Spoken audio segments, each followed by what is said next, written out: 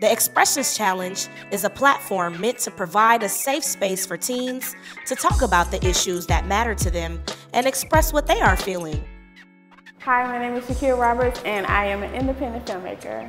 I won the Expressions Challenge in 2010 and 2011. I was the grand prize essay winner. Expressions has just opened up so many doors and so many opportunities for me after winning the challenge showed me that like my voice matters, what I have to say matters, and what I feel matters. Make sure to enter the Expressions Challenge for your chance to win $2,000. Expressions is open to all high school students ages 14 through 19.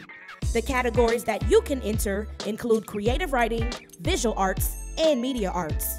You are able to submit one entry in each category. Topics that teens talk about include bullying, self esteem, gender identity, mental health, and more. The contest time period runs from August 15th to December 15th.